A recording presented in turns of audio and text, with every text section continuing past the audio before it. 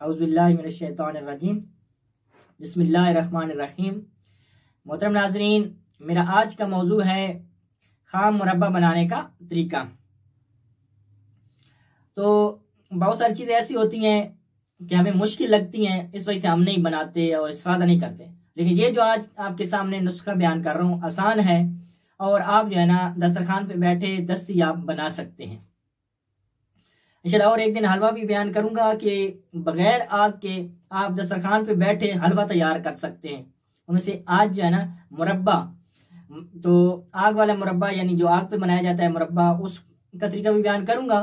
लेकिन आज फ़कत खाम मुरब्बा, के जिसको आग के बगैर बनाना है और जिसके फ़वाद हैं, और हम उसके साथ नाश्ता भी कर सकते हैं। अलबत्ता दूसरे टाइम भी दोपहर को, रात को किसी टाइम भी इस्तेमाल कर सकते हैं।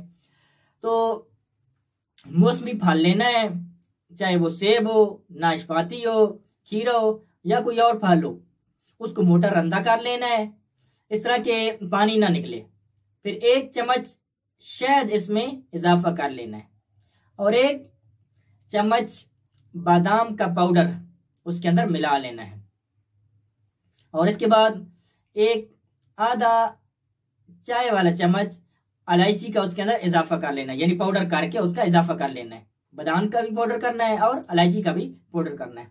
आखिर में आधा ताज़ा लींबू इसमें इजाफा करना है।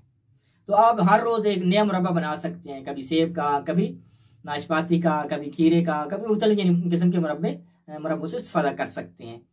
तो मौसमी फल तो बहुत अच्छा है, यानी मौसमी फल के अपने फ़वाद होते हैं।